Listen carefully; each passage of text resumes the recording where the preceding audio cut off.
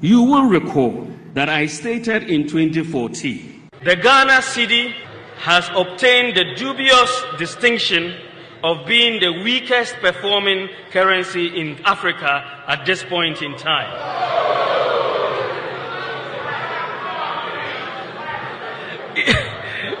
Interestingly, the NDC Green Book claims exchange rate stability as one of their unprecedented achievements.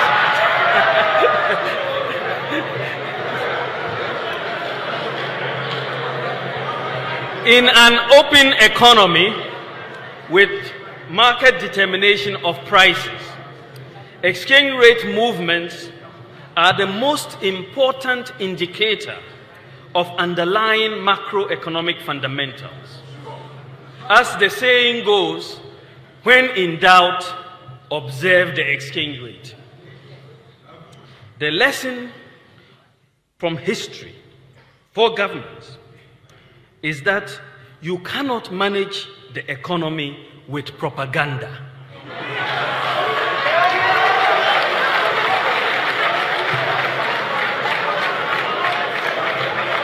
In, in fact, you can engage in all the propaganda you want, but if the fundamentals are weak, the exchange rate will expose you. That was true then, and it is true now. It is 100% correct. So, if the fundamentals are weak, the exchange rate will expose you. But it is warped logic to jump from that to a conclusion that if there is depreciation in their currency, then the fundamentals must be weak. Do you, do you understand the logic? It is very warped logic.